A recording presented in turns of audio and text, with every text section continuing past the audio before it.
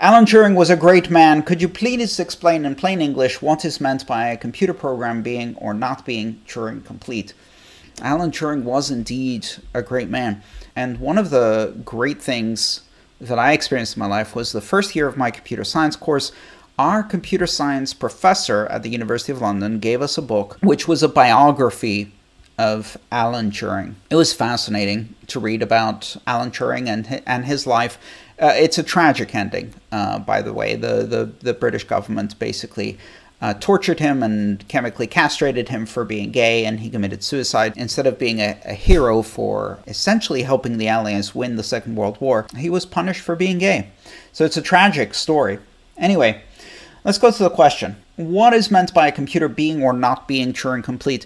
The simplest way I can explain this, I think, is a Turing complete program or programming language that allows you to operate Turing complete programs is one where the program can express all possible programs. So Alan Turing created this concept of a universal Turing machine, which is basically a theoretical computer that can run any program. Any program can be configured inside a universal Turing machine. And so anything that's equivalent to universal Turing machine is Turing complete, and a Turing complete system is one where you can run any program, and that usually means that it includes some form of loops or recursion. That means that you can do something like repeat this thing until some condition, and that's known as a loop. So run this program until something happens.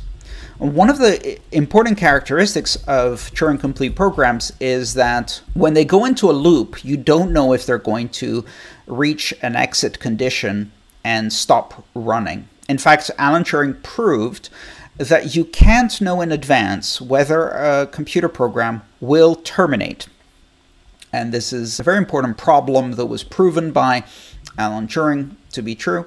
And this is why if you have a programming language that is Turing complete, you don't know if it's ever going to finish running. It, it has an unpredictable runtime, an unprovable runtime.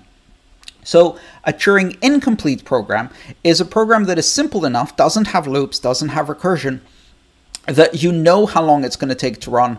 You know all of the possible conditions it will run under and when it's going to terminate. You can actually prove it algorithmically and prove that it's going to run for a specific length of time.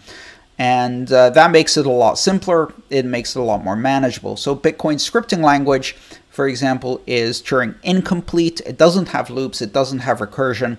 It's been carefully designed to be that way. In fact, it's harder to make something Turing incomplete because many computer programs have been made accidentally Turing complete, where people thought they were incomplete, meaning that they had predictable runtime, and in fact they were not.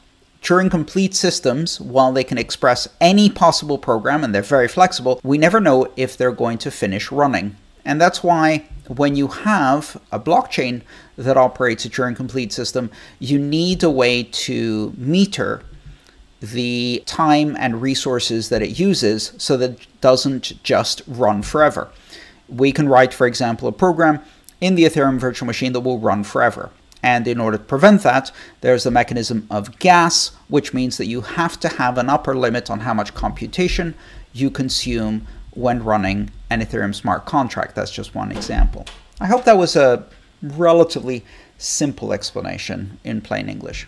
Hi, thanks for watching the video. I'm Andreas Antonopoulos. I'm the author of Mastering Bitcoin, Mastering Ethereum, and the Internet of Money series. If you'd like to support my mission of bringing education about Bitcoin and open blockchains to as many people as possible under open free Creative Commons licenses, please consider subscribing to my channel and supporting me on patreon.com slash A-A-N-T-O-N-O-P. Thank you.